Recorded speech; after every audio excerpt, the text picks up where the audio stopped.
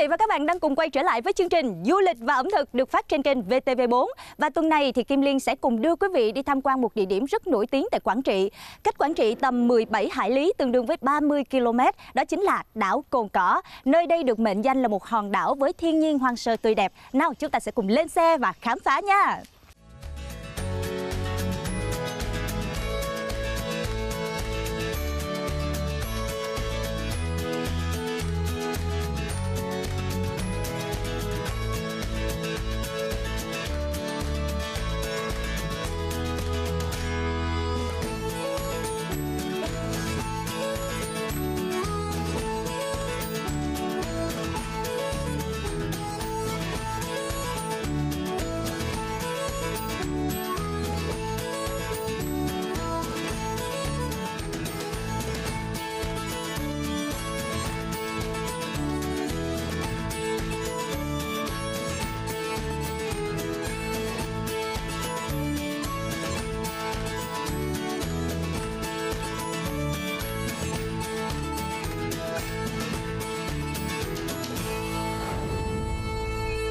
Thưa quý vị, giữa sự mênh mông của sóng nước, từ xa xa Kim Liên đã nhìn thấy hình ảnh rất rõ của cột cờ tổ quốc đảo Cồn Cỏ. Và đây cũng chính là điểm đến đầu tiên mà Kim Liên giới thiệu trong tập phát sóng kỳ này. Thưa quý vị, nằm trên đảo Cồn Cỏ thì cột cờ với độ cao là 38,8 m và diện tích là 600 m vuông.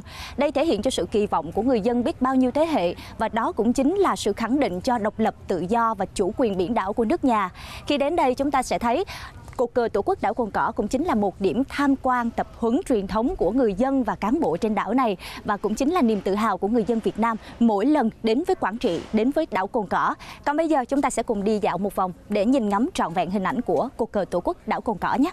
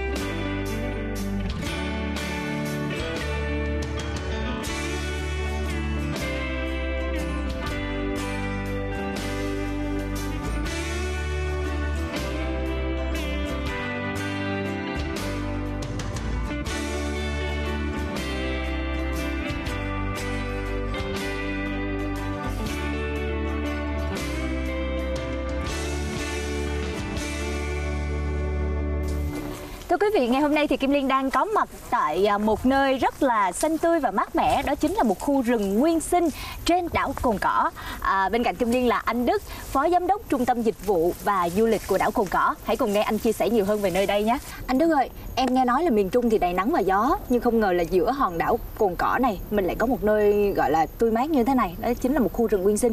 Thì không biết là diện tích nó tầm bao nhiêu anh? Đảo Cồn Cỏ là có tổng diện tích là 230 ha nhưng mà ở đây diện tích rừng là chiếm phần lớn. Diện Dạ. tích rừng là khoảng 70 phần trăm. Ồ, 70% như vậy là nguyên hòn đảo này là chúng ta thấy được phủ xanh luôn. Nó giống như là một lá phổi xanh của của đảo cồn cỏ vậy đó. Những loại cây mà được trồng nhiều tại đây thông thường là cây gì anh ha? Trên đảo thì chủ yếu là cây à, tự nhiên cây Dạ. bản địa gồm có những cây như cây gội rồi cây à, bàng cổ thụ Ừ. rồi à, một số cây khác. Dạ. Như trước mặt bạn đấy là có cây này ở đây gọi là cây dấu da Dạ, cây này nó cũng có à, tương tự như là cây sậu vậy nó Dạ. cũng có quả quả nó cũng có vị chua chua Dạ. Sẽ có một số cây á, là mình mang từ đất liền vào trồng nhưng cũng có một số cây là nó tự mọc lên ở đây luôn được gọi là rồi. cây rừng. đúng rồi Dạ. Ở đây thì ờ, ngoài cây cối ra thì mình có những cái loài động vật nào sinh sống không anh? À, trên rừng này thì động vật thì cũng hơi ít, Hơi ít.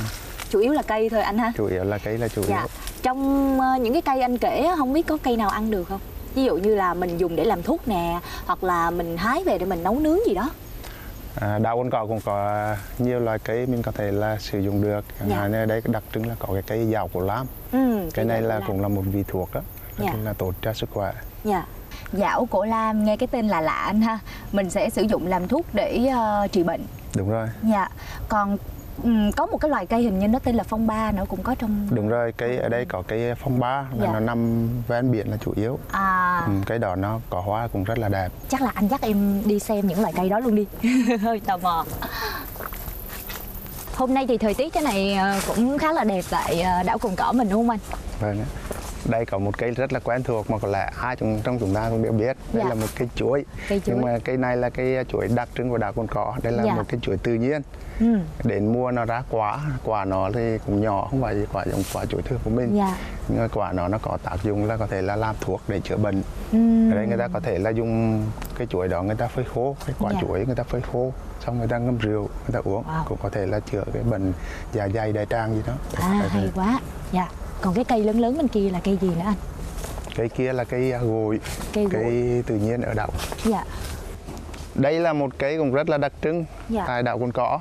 Đây là cây gội. Cây Tất nhiên cây này là cây nhỏ, ở đây có rất nhiều cây gội nó rất Dạ. là to, những cây Ờ. cổ thụ nó có bóng mát. ở đằng xa kia cũng có một cây gội lớn hơn kìa Ờ, em thấy cây này khá là đặc biệt á tại vì ở trong ờ, đất liền á thì hiếm có cây này lắm Đây em thấy kìa, đây là cây bàng đấy. Cây bàng này là có tuổi rồi cũng rất là lâu năm rồi đấy. dạ lớn quá có hai cây vàng này mát nha đi qua khúc này có nhiều cây bàng mà nó có cái gốc nó bự lắm. Ồ. Ba một người ôm Dạ. sữa. ô cây này lớn ghê anh ha Ừ, Cây này chắc có tuổi đời cũng rất là lâu rồi đấy. dạ chắc cũng mấy chục năm quá Cái thân nó cũng phải ba bốn người mới á. dạ Rồi bây giờ anh sẽ dẫn em Dạ. mà sang thăm cây bàng cổ thụ ở đảo Cồn Cỏ. Ừ. Trên đầu em thấy không? Những cái tán rất là Wow. bự. Ừ, đây là cái cao quá luôn á cái bàng này cái tán nó em thấy nó rất là bự. Ừ. Cái bàng này nó có tuổi đời cả trăm năm á. dạ nhìn cao Cái gốc mà của nó, quá. ừ, cái gốc của nó là có thể ba bốn người mới ôm mới xuể á. Đâu, anh chỉ Rồi, cho em Bây giờ mình vô trong kia để mình cùng Dạ. à, khám phá cái gốc bàng cổ thụ.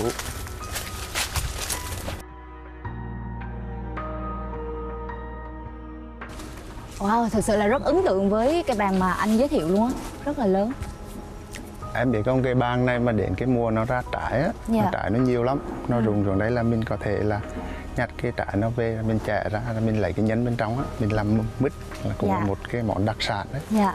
Nhưng mà em em vẫn đang đi muốn kiếm cái cây dại dảo cổ lam như vừa nãy anh nói á. Không biết là nó sẽ có hình dạng như thế nào, anh dắt em đi nha. Ok.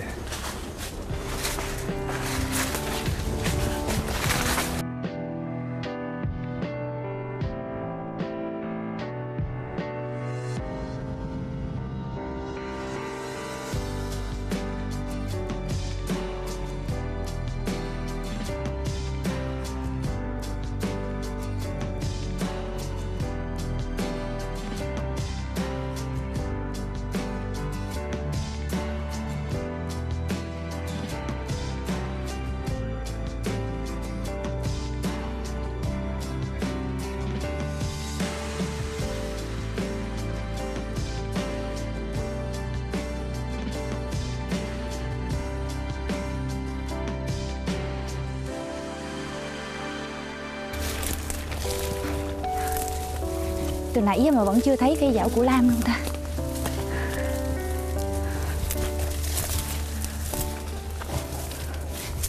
Đây đây đây đây rồi. Đây là cây dạo của lam ở Wow. đảo Cồn Cỏ. Dạ. Nó là một dạng thân leo. Thân léo á. Dạ. Thì- Đây nè.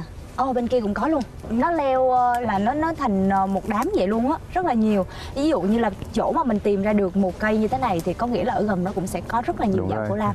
Dạ. Thì cái cây này mình sử dụng để làm gì anh ha? Cái cây này á là mình dùng để mình à, nấu nước, mình uống. Dạ. Mình có thể là nấu tươi Dạ. hoặc là mình phơi khô. Ừ. Ờ, mình nấu nước uống Còn Đặc cái này đúng rồi cái này á, là bữa nay à, người ta có thể làm là trà hoa tán hoặc là trà túi lọc Dạ. rất là tiện lợi trong việc sử dụng Dạ. cái cây dạo cổ lam này là nó là một loại thảo dược rất là quý nó rất là đặc trưng của đảo cồn cỏ cái Ừ. này nó có thể chữa được một số cái bệnh như bệnh là huyết áp tiểu đường vân vân. Dạ. Dạ. ừ. mỗi ngày á, mà mình uống vài ly cổ lam này vô là mình được có lời rất là nhiều. Cồn cỏ là có dạo cổ lam là cây thuốc quý là vàng ngân y. Mỗi ngày uống khoảng vài ly tốt cho sức khỏe quên đi bệnh tình. Để em đọc lại nha. Cồn cỏ có, Có dạo dạo cổ cổ lam. Lam, là cây thuốc quý là vàng ngành y. mỗi ngày uống khoảng vài ly. tốt cho sức khỏe. Tốt cho sức khỏe. Quên đi bệnh tình. Quên đi bệnh tình. Dạ. Rất là tuyệt vời. Cảm ơn anh đức rất là nhiều luôn á. Ngày hôm nay được đi một vòng ờ, rừng nguyên sinh ở trên đảo cồn cỏ. Biết được nhiều loại cây mới nữa. Ờ, nhưng mà bây giờ thì kim liên cùng với ờ, chương trình du lịch ẩm thực phải đi tiếp địa điểm tiếp theo. Đó chính là ngọn hải đăng anh có biết là từ đây ra đó khoảng bao xa không? Từ đây ra ngọn hải đăng thì cũng không xa lắm. Dạ. Khoảng à, nửa cây số thôi. Thì em đi hướng nào? Bây giờ là mình ra theo hướng con đường bê tông đằng kia. Rồi Dạ. mình ra đường nhựa mình lên ngọn hải đăng. Dạ vậy thôi hai anh em mình cùng ra khỏi khu rừng luôn nhé. Dạ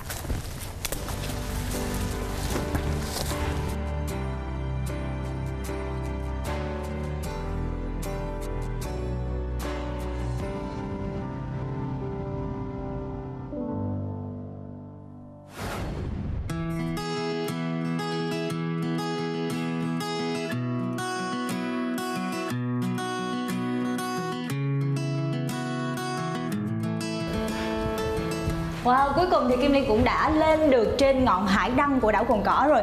Và đứng ở đây thì cảm nhận rõ ràng một bầu trời rất xanh và khí trời rất là mát. Chúng ta hãy cùng ngắm một vòng nhé. Hải đăng cồn cỏ có hình trụ với chiều cao 24,2 m, chiều rộng trung bình 4,5 m, được sơn màu vàng nổi bật. Hải đăng cồn cỏ được ví là mắt ngọc giữa trùng khơi, có tác dụng báo vị trí đảo cồn cỏ, giúp tàu thuyền hoạt động trong vùng biển Quảng Trị định hướng và xác định vị trí.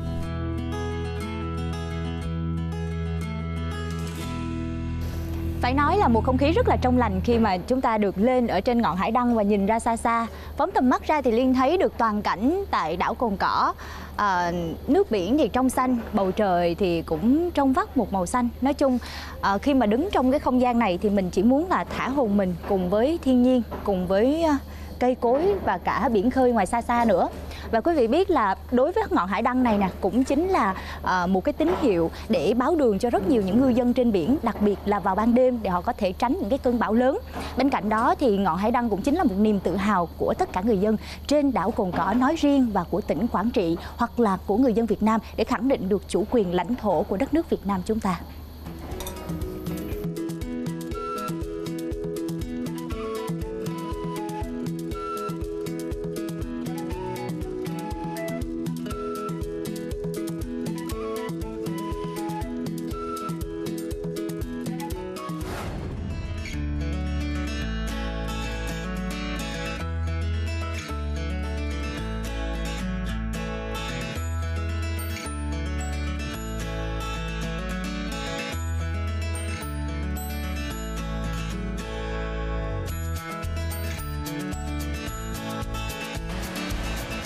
Quả thực, khoảnh khắc đón bình minh trên đảo Cồn Cỏ cũng là một cảm giác rất là tuyệt vời khi có từng cơn gió và từng đợt sóng vỗ vào bờ như thế này. Và đây cũng là điểm mà đón bình minh đầu tiên trên đảo Cồn Cỏ của tỉnh Quảng Trị. Nếu như có một lần thì Kim Liên nghĩ là mọi người hãy thử cảm giác này để biết nó tuyệt vời ra sao nhé. Và ngày hôm nay thì mặc dù tạm biệt đảo Cồn Cỏ thì Liên cũng hơi luyến tiếc một chút nhưng chúng ta sẽ còn hẹn gặp lại nhau tại đất liền với những điều thú vị tiếp theo.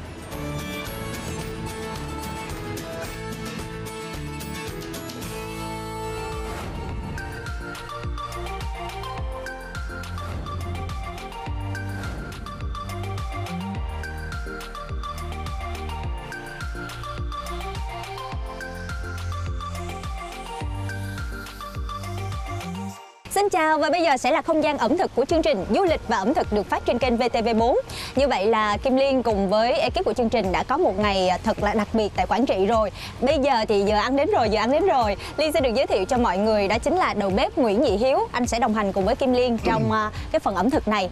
Anh Hiếu ơi, hôm nay thì không biết anh sẽ giới thiệu cho Kim Liên món gì ạ? À, hôm nay đến với Quảng Trị, khách sạn Sài Gòn, à, Sài Gòn Đông Hà chúng tôi dạ giới thiệu à, đến à, quý vị là món hàu nướng sốt phô mai. Ừ, Hàu nướng sốt Ừ, phô mai cồn cỏ. à, Cồn Cỏ. đặc biệt là hàu này đến từ cồn cỏ. À thì liên không biết hàu đến từ cồn cỏ nó có gì khác so với những hàu khác? Hàu Cồn Cỏ là gọi là hàu á, trăm năm, à, sống à, tầng thấp ở đại biển. dạ và nhìn nó cũng lớn hơn những À. con hàu khác rất À, là rồi. nhiều ha. Như vậy thì ngày hôm nay chúng ta sẽ có một món hàu cực kỳ đặc biệt, hàu đến từ cồn cỏ nướng sốt phô mai. Nghe rất là thú vị rồi. Bây giờ thì chúng ta bắt tay vào làm thôi anh ơi. à, nguyên liệu chính chúng ta là không thiếu đó là hàu Hàu. à, hàu Dạ, rồi là phô mai bột ngọt đường dầu màu điều và trứng gà trứng gà. Ừ. Dạ rồi quý vị ơi và bây giờ thì chúng ta sẽ tới bước sơ chế hàu. À, anh đã chuẩn bị rất nhiều những con hàu cồn cỏ rồi ha. Bước sơ chế có khó không anh? à con hàu này à, sơ chế cũng dễ thôi Dạ, à hàu này là không thể à, lấy trước được mà lấy sau từ từ phía sau lưng đó dạ lấy đằng sau rồi. mình lấy à, Dạ. là cày à, lấy dao đó trong đây là có một à, cái cùi của nó Dạ, À, mình sẽ đúng. mình À, sẽ cậy nó À, lên ha. Dạ. cậy lên. Dạ vâng. cài lên Dạ. Đấy. Rồi. cho mình cắt mỏng hàu ra Rồi sau khi mà mình sơ chế xong thì anh sẽ cắt con hàu ra. à, cắt hàu ra Dạ theo cái chiều ngang của con hàu ha. theo chiều ngang Dạ rồi.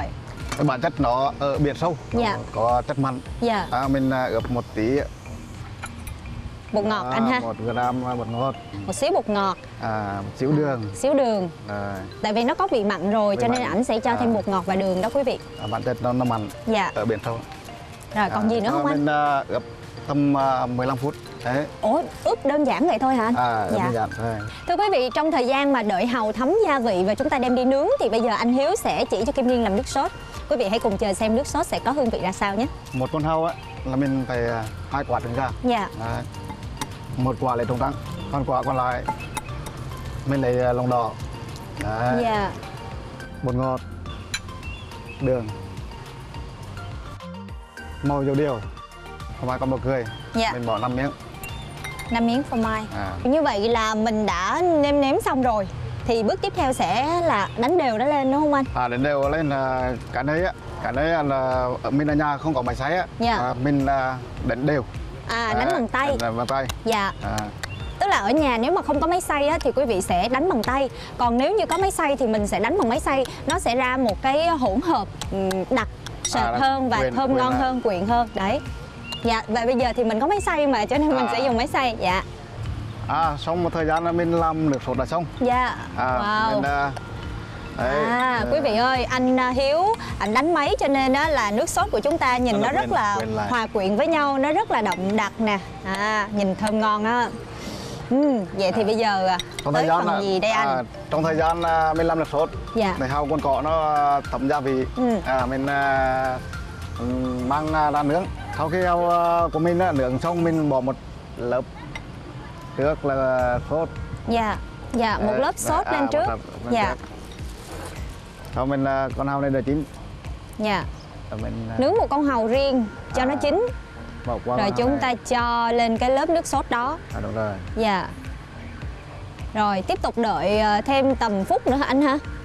à, rồi cho cái, cái lớp phô mai nó, nó cứng lại Dạ. một lớp sốt lên nữa Trang thêm một lớp sốt lên À. trên con hàu đang đang nướng luôn. Dạ rồi. Như vậy thì rất là đậm đà hương vị của nước sốt hòa quyện với con hàu cồn cỏ ha.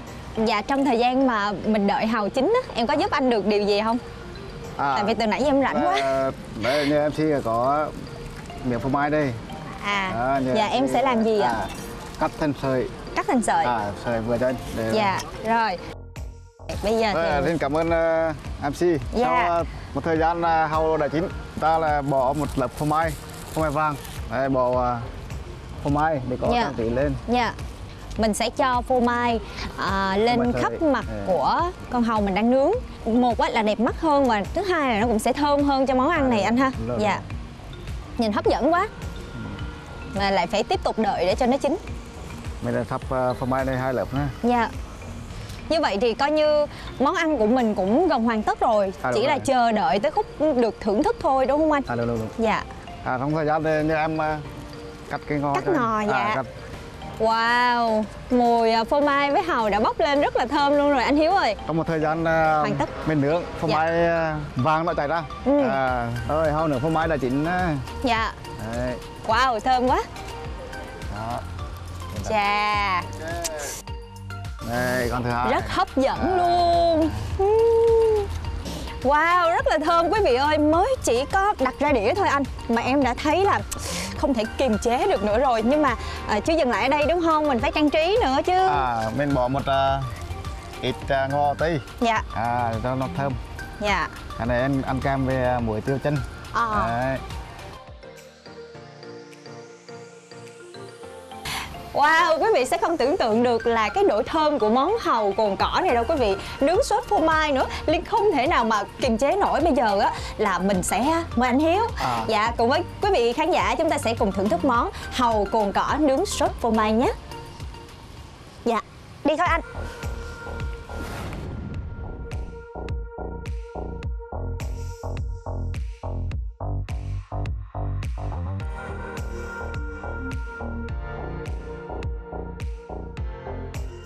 Thưa quý vị, bây giờ thì Kim Liên đang có mặt tại không gian hồ bơi của khách sạn Sài Gòn Đông Hà cùng với anh Hiếu đầu bếp. Chúng tôi đã hoàn tất xong món hàu nướng sốt phô mai và quý vị ơi, nó rất là thơm. Bây giờ thì mình sẽ cùng thưởng thức luôn anh Hiếu ha. À. Dạ.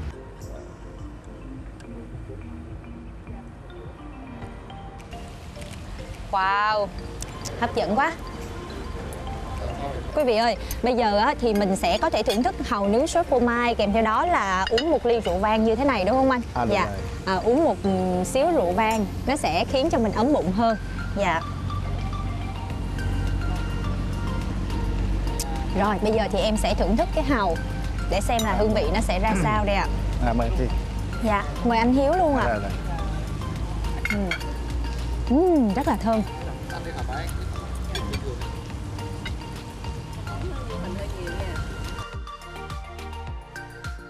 Anh biết không, em đã ăn nhiều loại hàu khác nhau ở những địa điểm khác nhau. Nhưng đối với hàu cùng cỏ quý vị, Kim Liên cảm nhận được rõ ràng cái vị dai và thơm ở trong hàu.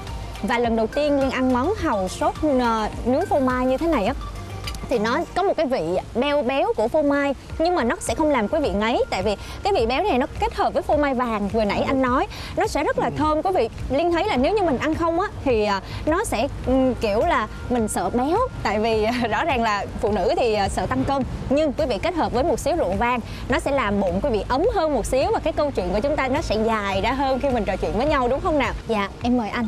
À, trong một buổi chiều mà Quảng Trị Liên thấy là thời tiết có vẻ mát mẻ hơn bình thường, không quá nắng và những cái cơn gió như thế này thì rất là phù hợp để chúng ta tìm kiếm một món nướng, một món nóng nào đó và chúng ta dùng chung với nhau, cùng trò chuyện với nhau đúng không anh Hiếu? À.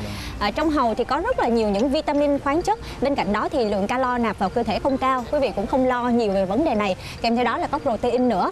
À, theo như em tìm hiểu thì những người mà mắc chứng bệnh tim hay là bị tiểu đường à, tiếp 2 á, thì quý vị có thể ăn hàu nhiều để chúng ta hạn chế những căn bệnh này. Thưa quý vị, ngày hôm nay đến với Quảng Trị, Kim Liên cảm thấy rất là ấn tượng. À, mình được ngồi chung với đầu bếp trong một không gian lãng mạn như thế này để thưởng thức một món ăn ngon. Kim Liên hẹn gặp lại quý vị vào số phát sóng tiếp theo của chương trình Du lịch và ẩm thực được phát trên kênh VTV4 vào mỗi tối thứ bảy, tuần thứ hai và tuần thứ tư của tháng. Còn bây giờ thì xin chào và hẹn gặp lại quý vị.